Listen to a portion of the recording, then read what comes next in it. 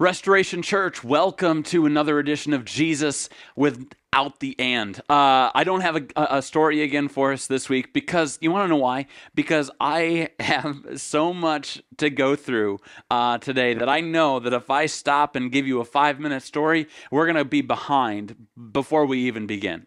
And so here's what I want to do for the introduction. Here's what I want to say. Number one, uh, we've been in this series for a while now. We've got five weeks left. Paul has defended himself. Paul is the writer. I'm not talking about some dude named Paul. Paul has defended himself as an apostle in the first two chapters of Galatians. Uh, in, in the next two chapters, in chapters three and four, he's defended the gospel and what it means. And now, in, in chapters five and six, you guys, we are going to get his application to resist legalism. And it's going to get heavy. It's going to go fast for these next five weeks. There's a lot to get into.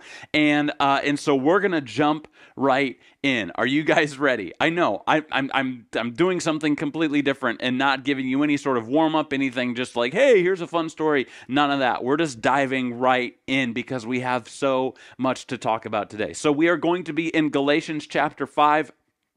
We're going to be starting in uh, verse 1. As you turn to uh, that, if you are not driving somewhere, welcome. Thank you for checking out Restoration Church online. So happy you're here. If you want to come visit us at the brewery sometime, we meet at Right Brain Brewery uh, on Sunday mornings at 9.30, and we do this. Uh, we do uh, a message, and we uh, sing some songs, and we gather together, and we do a lot of cool stuff. So we encourage you to come there. All right.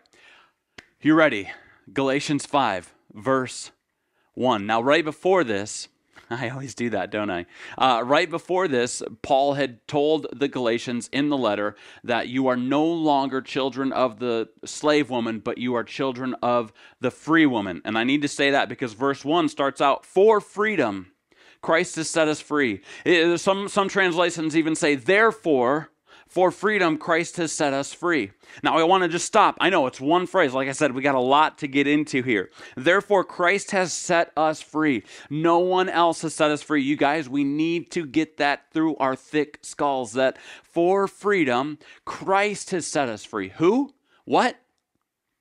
Christ has set us free. Anytime I try to set myself free, it's like one of those Chinese handcuffs things where the more you try to get out, the worse it becomes. Uh, any of those like like torture devices, I guess maybe could be like that too. I've no, no never tried it, um, but you get you, or, or quicksand, right? You you start. I used to be so afraid of quicksand growing up. I thought for sure that was gonna I was gonna run into it somewhere and I was gonna sink.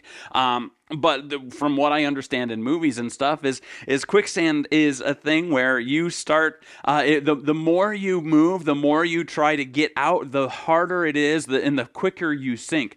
So we need to understand that it's for freedom. Christ has set us free not my good deeds, not the things that I'm uh, capable of doing, not my good behavior, not my how many times I pray, not how many times I have church attendance. The only way that I've been set free is because of Jesus Christ. And it's for freedom that he has set us free. He didn't set us free to then like to transfer us to another prison right? Like we didn't get on the prison bus and go from one prison to the next one because we're getting transferred. No, we we got we got out. Like Christ opened up the jail and all of us were able to walk out of ourselves because of what he did. And it's again, it's what he did. We didn't get early release. We didn't get early release on on good behavior or parole or any of those things. The the the the cell gates opened up and we got to walk through it. We are free in Christ Jesus. You guys, I've been speaking to, to 7 to 13 year olds for the entire week, and I'm so glad I now get to speak to adults again because uh, I, I just, I, I miss you guys, all right? And so um, we are going to get after this, uh, uh, and that's just one phrase. All right. For freedom, Christ has set us free. Stand firm, therefore and do not submit again to a yoke of slavery. Stand firm. Don't fall back and put yourself back in the prison cell. Jesus has opened up the prison cells. We've walked out. We're free. We don't need to go back again into a prison cell. And he's telling the Galatians, you don't have to go into slavery in order to have a right relationship with God. Jesus has set us free. It's for freedom. Christ has set us free. So therefore, stand firm and don't and do not submit again to a yoke of slavery. It blows my mind that 50% of people actually wind up back in prison uh, who get released from prison. It's a mind-numbing statistic, and and and for the Christian, I don't I, I don't even know what the statistic is of people who get set free by Jesus and then decide that we need to live um, according to some sort of law or some sort of rule. I, I, I can only, I mean, the early church, okay?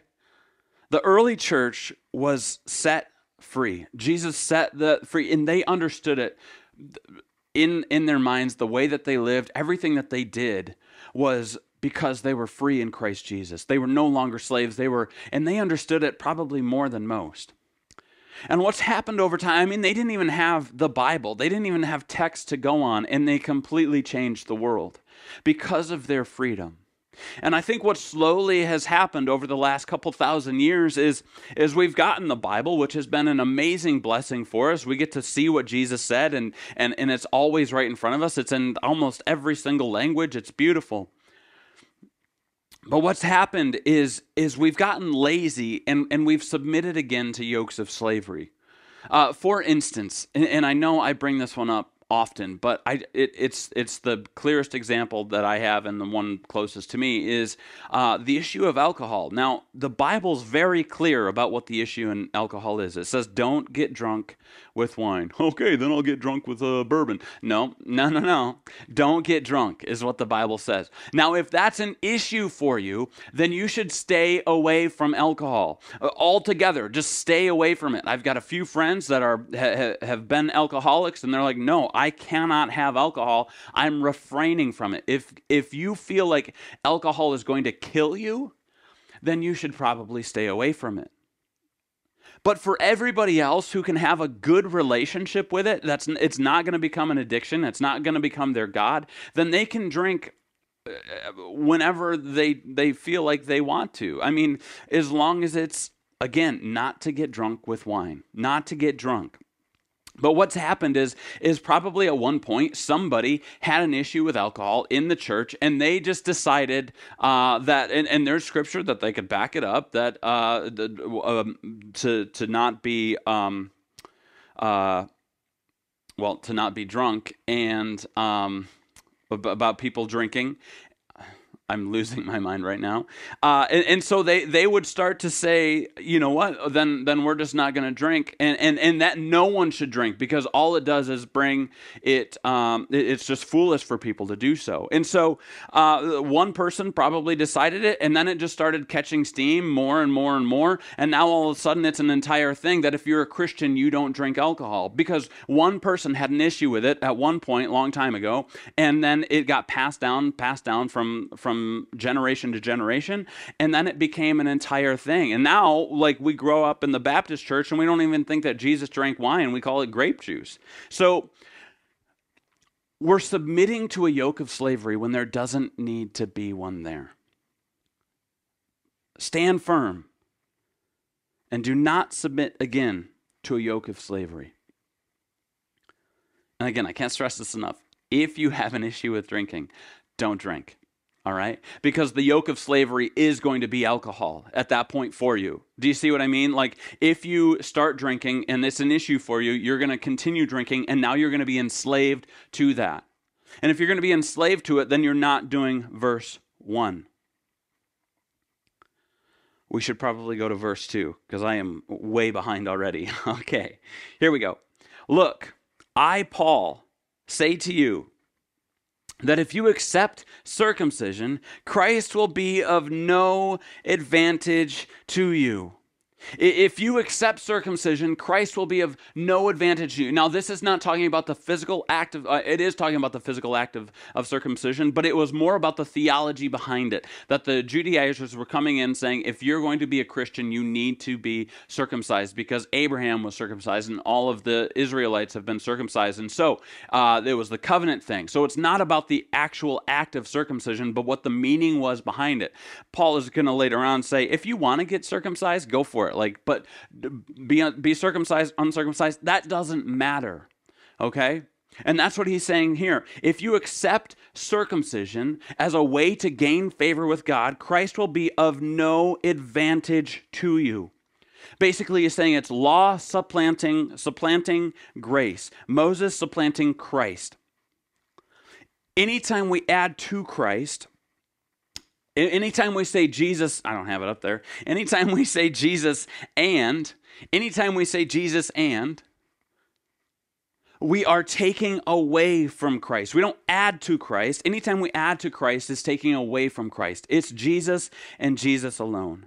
Christ supplemented is Christ supplanted. You can write that down if you want to. I'll say it again. Christ supplemented is Christ supplanted.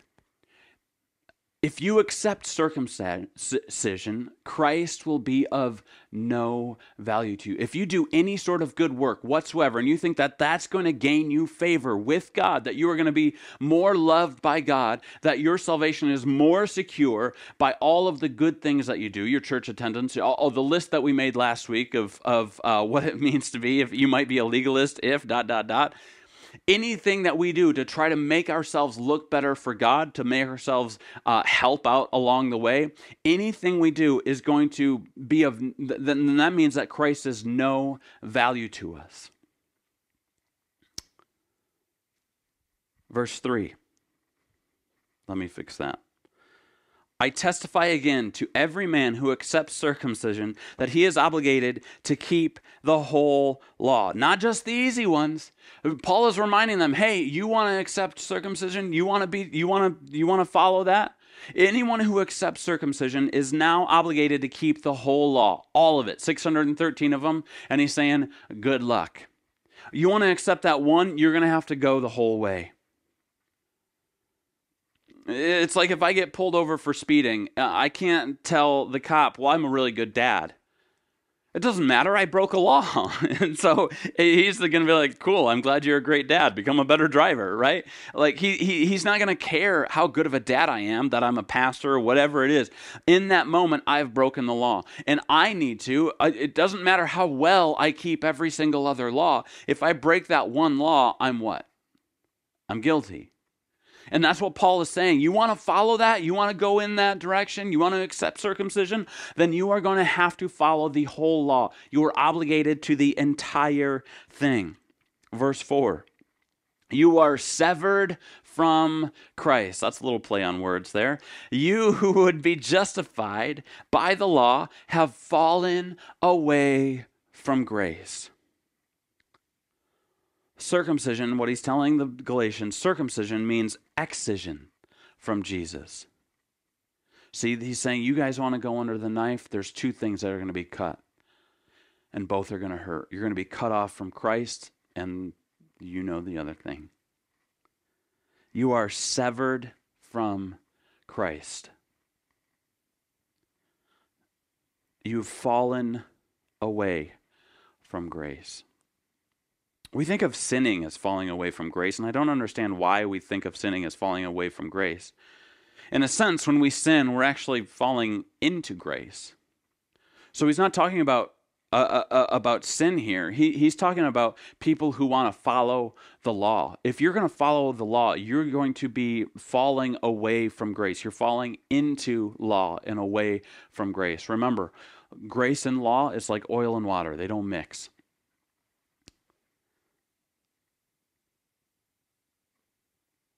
And he's saying, uh, You've fallen away from grace. When we sin, we just need to keep falling into grace.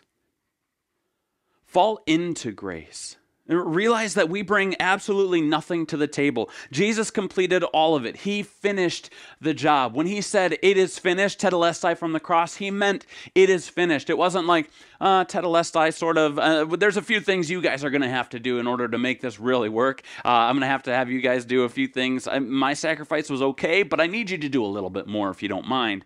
No, we fall into grace, realizing that there's nothing we can do. And we live under that banner of tetelestai, that it is finished. Now, that doesn't give us license to just keep on sinning so we can fall deeper and deeper into grace. I mean, that good try, but that's not the case. He, he writes in Romans, he wrote to the church in Rome uh, in, in chapter 6, verse 1, he says, What shall we say then? Are we to continue in sin that grace may, may abound? By no means. How can we who died to sin still live in it? Do you know that all of us who have been baptized into Christ Jesus were baptized into his death? We were buried, therefore, with him by baptism into death, in order that just as Christ was raised from the dead by the glory of the Father, we too might walk in the newness of life. We were, our old self is dead. When we surrender to Jesus Christ, we surrender our old self, baptism. Again, we've done this before. Baptism is death burial, and resurrection. That means for ourselves, it's death, burial, and resurrection. When we decide to follow Jesus, we fall into grace and we leave our old life behind. And we strive to follow him and to love him and to do the things that he asks us to do, which is to love people around us. And we're going to slip up, we're going to make mistakes. But it doesn't mean we have to try to do better and be better and, and do all these things to make ourselves right before God. Jesus made us right before God. And it doesn't mean that we can just continue sinning because if Jesus enters your life, your life will be changed. You're going to look different. And then in that freedom that we were talking about before, in freedom, we can just keep we can keep walking in freedom, knowing that we are secure in Christ Jesus and that His grace will abound. Even when we do slip, slip up, we can take risks because we know that His grace is going to be there to catch us when we fall. That, like I said, this last week I was um, I was speaking to a bunch of campers at, uh, at, at, a, at a camp down in Big Rapids, and it was seven year olds up to 13 year olds. It was a wide range of people. So, seven year olds who people just stopped peeing just in the, the bed just a few years ago, and kids who are super, super hormonal at 13. So, I tried to make it applicable to, to that whole wide range. But there are so many other activities that you could do all week long. And, and we took the family, we went down on Sunday. Um, and Monday morning, we, we took a walk. The boys went off somewhere else. And so it was just Leah and I and the two girls, Lila and Elena. And we went, uh, they had this huge rock wall, uh, rock climbing wall outside uh, with the belays and all of that kind of stuff, like the automatic ones. And so you, you put the harness on and you get clipped in and you can rock climb um, up these these walls. Now, if you were not harnessed in, you wouldn't want to get up very high because you could fall and well die, uh, and that wouldn't be very good. Insurance companies wouldn't like that very much either. And so uh, you have this harness on, and you can rock climb on any of the walls. Now, my two girls did it. Lila is uh, 11, and Elena is going to be nine. Elena's tiny. She barely was able to fit into it. And she's climbing up the rock wall. She's having a good time. Lila goes up there, and Lila's like a spider monkey, right? Like she just climbs everything. And she gets to the top first try, uh, and, and, she rings the bell. And it was incredible that she was able to do that. And then she goes around to the other side. The other side had this spot where, like, uh, it comes up, it jets out. Like you have to be kind of upside down almost, like, uh, like you, you'd be arched back, and then it goes goes up again, and then you can get to the top. And there was two sections of it, uh, right side by side, and both of them had that like jet out, go up, and then come back in, but at different spots. And so Lila tries to do that one. She climbs all the way up. She gets past the little incline thing part uh, that jets out, and comes back up. She got through that just fine. She goes up and she rings the bell and she she's on top of the world at this moment right? Like she took the risk and got all the way up to the top. and then as she was going down, uh, she was close to the other side where that that also jets out. And as she was just working her way down, you just kind of let go and it, and it falls down. Her loop on her harness got caught on one of the rocks and and it flipped her basically upside down. And she started freaking out as she would be. I mean, she's you, uh, you would be too. You're 20 feet up in the air, and all of a sudden you're upside down. But guess what? The harness did its job. And so from the ground, mom and I are like, "Hey, uh, you're all right. You're all right. Calm down. Don't pull on the belay thing. That's just going to make it worse for you if you eventually just get out. Leave the rope alone." Um, there's a rock right next to you and she's she's worried. She's freaking out. She doesn't know what she's going to do. There's a rock right next to you. You're going to have to pull yourself up on that rock. And so she goes and she pulls herself up on the rock and then it lets loose and then she's able to get down the rest of the way and she was freaked out. But she was never really in any danger because she was harnessed in. You guys, we can take risks for Jesus Christ. And we might fall sometimes, but we know, we know without a shadow of the doubt that His grace is going to catch us every single time we fall. And that's the freedom that we have. That's the freedom that Paul is asking for. A couple days later, Lila was at it again. I think it was the very next day. She she went up that same side. Now she didn't get all the way to the top this time, but it didn't stop her from trying again. Because she knew that she was safe in that harness. And for us, we can take risks and we might fall short sometimes. I guarantee we will.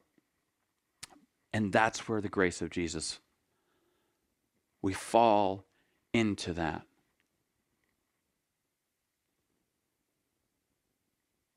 Let's keep going.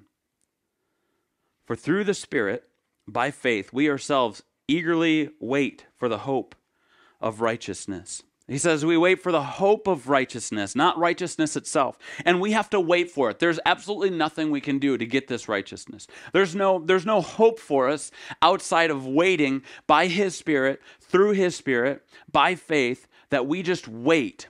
It means that I can't add anything to do this. To I can't add anything to this in order to make myself more righteous. All we do is wait for the righteousness of God. And that becomes complete. What he's talking about is we wait for the hope of righteousness when Jesus comes back or when we start going back up to him. When we die and we're with him, now the hope of righteousness is fully revealed. Or when Jesus comes back, the hope of righteousness is fully revealed. And it's not determining on anything that we ever do. He's bringing that home again. Verse 6. For in Christ Jesus, neither circumcision nor uncircumcision counts for anything, but only faith working through love. It doesn't matter how well you keep the law or don't keep the law. The only thing that matters is faith working through love, which brings us to our next point that faith works through love, not law. God's not interested in the rules that you're going to follow, but the relationship that you have with Him and with those around you. He is interested in one rule love Him and love others. Because it's, it, it, it's possible to follow the law without love.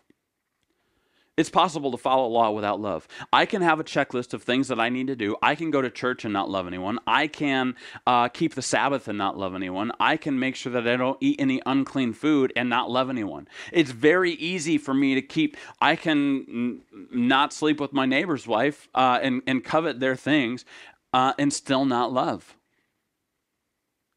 It's very easy to have just a checklist of things to do. And uh, guys, this is why we go to a law based sense of living. Because to be honest, freedom can be a little bit difficult because it means we have to get into each other's uh, lives and, and, and, and, we're, and, it's, and it's messy. Law keeps things very, very clean, love makes things messy. That's just the way it goes. I should write that down. Law makes things clean. It, it, it just is a cleaner way of living. Love is going to get messy. Uh, we're going to have people's filth on us. We're going to uh, get dirty ourselves. We're going to fall into grace many times. And that's exactly what Jesus wants us to do. It's unselfish service to man and to God. Jesus says in uh, John 13, we talked about this several months ago when we were doing our In the Room series. In verse 34, he says, A new commandment I give to you, that you love one another. Just as I have loved you, you also are to love one another. By this, all people will know that you are my disciples, if you have love for one another. Again, your church attendance does not show that you love. Your prayer life does not show that you love people. Uh, it's not going to show that you're a Christian. How many times you go to church isn't going to show that you're a Christian. The only way that people will know that we are the disciples of Jesus Christ is by our love. I was listening to a sermon recently, and uh, it was by a guy named Joby Martin. Brilliant pastor down in Jacksonville, Florida. Uh, I've learned a bit from him already just in the few months that I've been listening to him. But um, he shared one sermon in particular, and I can't remember what it was, but I do remember the story that he shared about it, and or in it he was talking about when he was a youth pastor. Uh, he he became a youth pastor at this small church, and he was just fresh out of college, like not. he's pretty green, okay, and um, he he was part time that, and he also uh, worked at a gym uh, like a like a gym, like a workout place. And across the street from the workout place was a strip club, and the gym owner uh, provided um, free gym memberships to all of the ladies that worked in the strip club. So they would often come over there. And uh, Joby was just getting started out, and he was trying to um, to to like he would always have his Bible open uh, at the counter because it wasn't always very busy, and so he would be doing notes, practicing for a sermon, all that kind of stuff, and the girls would be sitting there with smoothies or whatever. And, and so he would strike up a conversation with them. And he started asking them, hey, can I practice my sermon on you guys? And they were like, yeah, sure, whatever. Uh, because they were just happy that somebody was um, paying attention to them in, in, in, a different way, you know? And so he, he starts preaching, uh, giving these messages to them and practicing, and they're giving feedback and whatever. And one of the messages, it was about an invite to church. And one of the excuse me, one of the ladies said, uh, Yeah, I'd go to church with you. And he went to a very conservative church and he was like, Great, okay, awesome. You're going to come to church with me. So that Sunday morning, she uh, volunteered to drive. She had a son, she had a child, and uh, the child was in the back seat. And so she went to Joby's apartment complex, picked him up uh, in this like convertible car thing. And uh, he's riding with this lady, and they pull into the parking lot. And he was embarrassed because from the parking lot all the way up, he's saying hi to people, and they're just getting looks all over the place. Now, Joby's not married at this moment, and he's bringing this lady in with a child, and they and they know that he's a student ministries pastor, and they awkwardly, you know, they they send the the the son uh, off to the kids area, and they do that thing, and then they go to church and they sit through the service, and it and it was just feeling the heat of stares at them the whole way.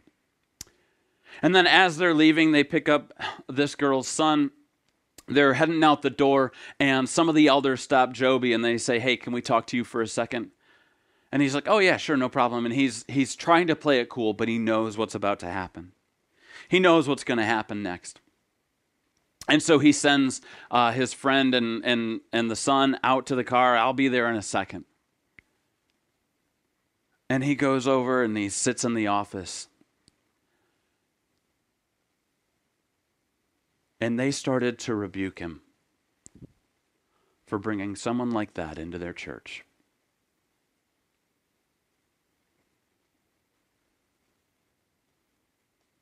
Joby says he was young and didn't know what he was doing and at the time he said he apologized and he says I don't I don't take many things back but that's one thing I wish I would have never done is apologize.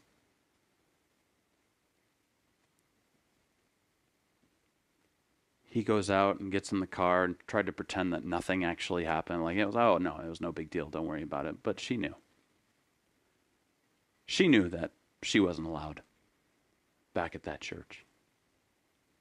She knew her son wasn't allowed back at that church. Pretty soon after that, uh, she stopped hanging out with them at the gym at the front counter. She would go in, get her workout in, and then leave. Soon after that, he didn't really see much of her at all. Never got a chance to talk to her again, never got a chance to share the gospel again. Because the church cared more about the law than love.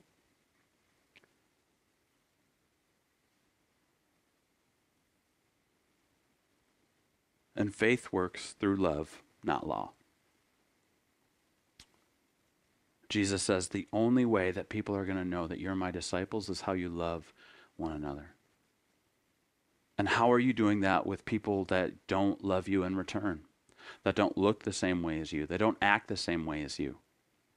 How can I show love to somebody that uh, I, I find unlovable? That's when Jesus' love is really going to show you guys. He says that many people would would um, or not very many people would even lay down their life for their friends. But Jesus laid down his life for people who were actively opposed to him. And that's what love requires of us. We talked about that a few weeks ago. All people will know that you are my disciples if you have love for one another.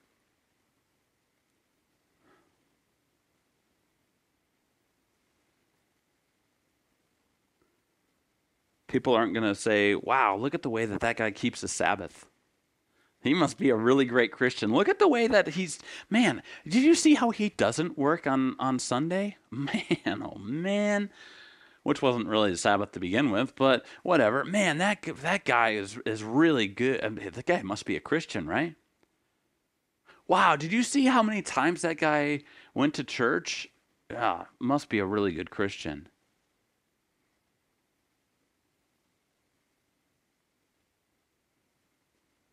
It's only by our love. And Paul knows this, and it's why he's pushing so much to the Galatians. It's not about law, it's about love, it's about a relationship. And he keeps going with them, and he says, You were running well. Who hindered you from obeying the truth? This persuasion is not from him who calls you. This isn't from God. This isn't from Jesus. This isn't biblical. A little leaven leavens the whole lump. lump. I have confidence in the Lord that you will take no other view, and the one who is troubling you will bear the penalty, whoever he is. Paul is trying to put an end to this immediately because he knows that if this gets out of control, if they start saying circumcision is a thing, then it's going to be the next thing. Then it's keeping the Sabbath, and then it's another thing, and then it's another thing, and then pretty soon, uh, well, we have the church that it is today. That's so focused on looking the right part and doing the right things instead of loving everyone we come into contact with. It's like he, he, Paul is saying that these are weeds that are growing up. And if you don't take care of those things, they're going to be very invasive and they're going to ruin the entire yard. It's like the if you put a little bit of yeast in the dough, man, it's going to ruin the entire batch. A little leaven leavens the entire lump. That's yeast. So you were running so well. What happened? He says the person that's troubling you, they're going to be dealt with. I I'm trusting in God that that person is going to be dealt with. See, because he's also a pastor. And a pastor means shepherd. And a shepherd protects the flock. And if there's even an, a little bit of an inkling of, of a wolf gathering around, sheep are not very brilliant animals. I like that we are often referred to as sheep because, well, we're not very brilliant either, are we? And, and sheep need to be led, they need to be um, gathered, they need to be shepherded. And it's just like that with us. Like we need to be gathered, we need to be shepherded from outside attacks because we're dumb enough that we'll go off on our own, think, I got this, I can handle this, and we're going to go off on our own and we're going to get attacked by that wolf. Paul is saying, guys, we're going to deal with this, and that person is going to be dealt with because I'm a pastor. I'm a shepherd. I'm going to take care of this. And for Restoration Church, if there is a wolf or anyone that looks like a wolf, we're going to have some conversations to figure this stuff out, to get this out. There's some, some things happening within within the congregation, and I just need to address we follow Jesus Christ and Jesus alone. There is no other way. And anyone who's going to speak anything other than Jesus Christ and Jesus Christ alone, we're going to treat you like a wolf. Yeah, that's a threat, I guess. I don't know. Paul is asking them don't pay attention to those things. This persuasion is not from him who calls you. I have confidence in the Lord that you will take no other view except Jesus and Jesus alone.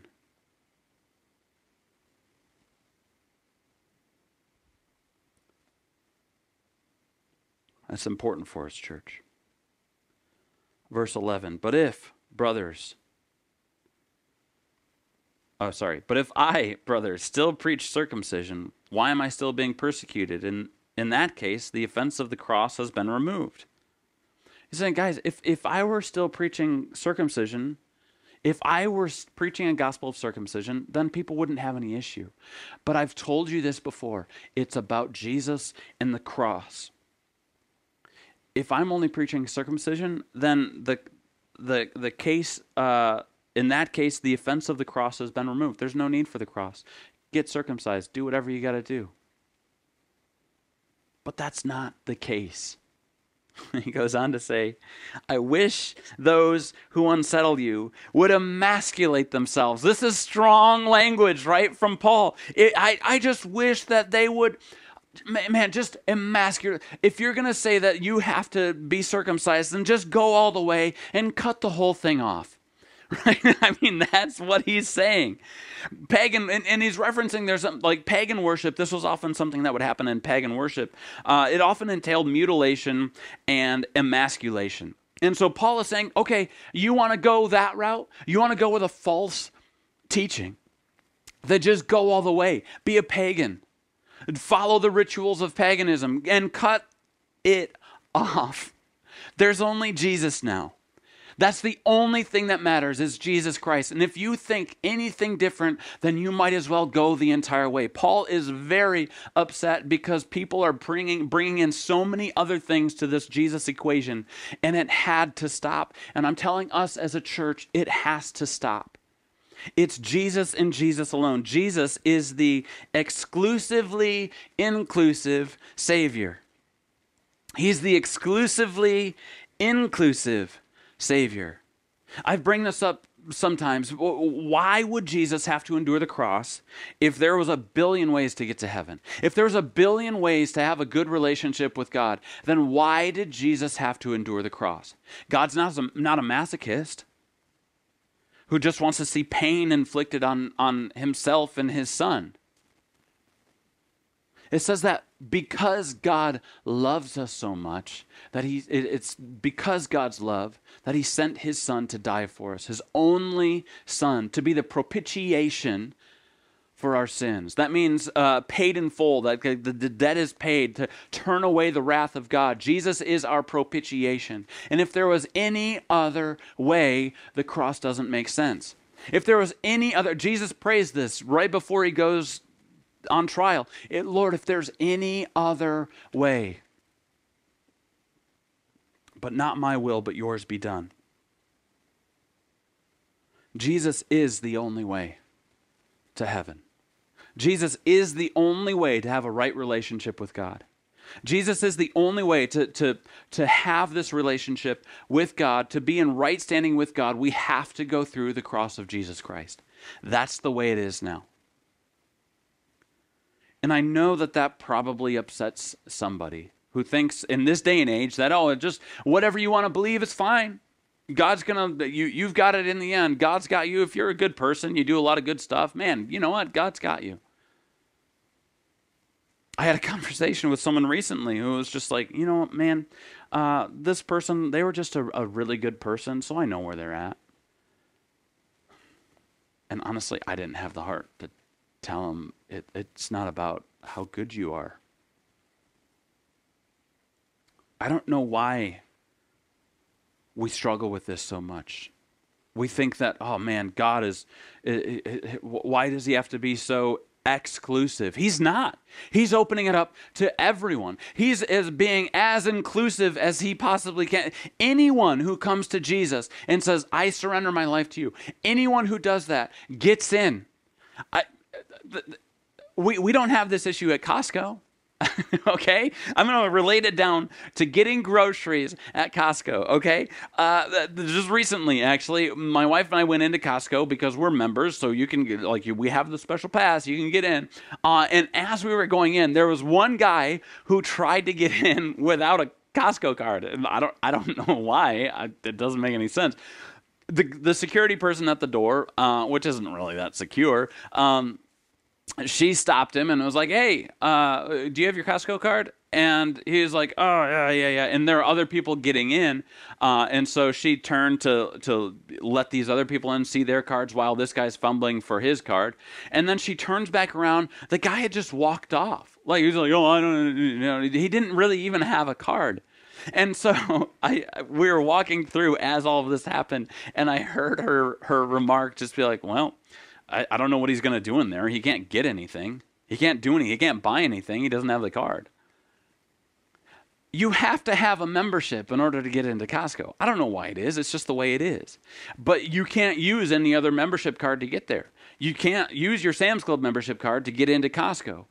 You can't use uh, your your Meijer mPerks card to get to, to Costco. It doesn't work. The only way you can get into Costco is if you have that little card. The only way we get to heaven, we get a relationship with God, is if we show the card that yeah, I follow Jesus. If we if we don't have a problem with that with our groceries, why do we have a problem with that with so many such a bigger issue?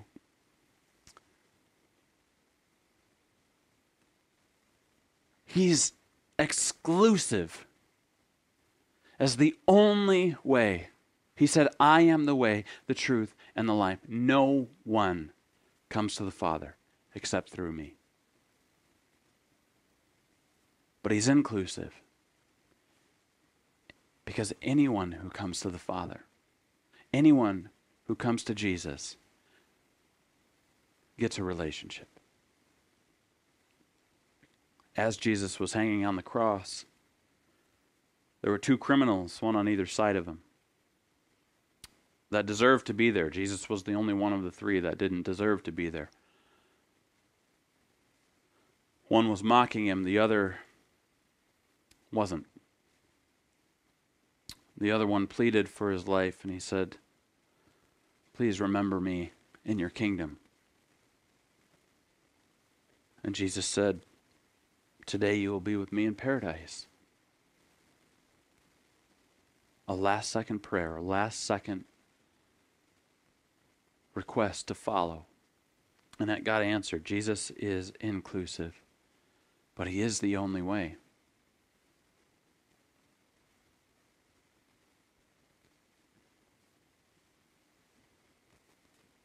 And so many of us aren't taking this seriously.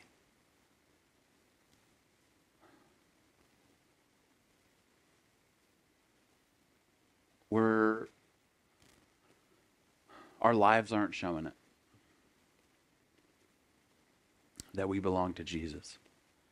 This is a whole commitment. This is a whole life change. This is not just some little thing, a little club to make yourself feel better on a Sunday morning and then get on with the rest of your life. Go sleep with whoever you want to sleep with, be with whoever you want to be with, and there's no issues whatsoever. If we're going to follow Jesus, we're going to follow him and we're going to surrender our lives over to Him. The cost was too great for us to waste it. So I don't know where you're at, wherever you are, whoever you are that's listening to this. I don't I don't know.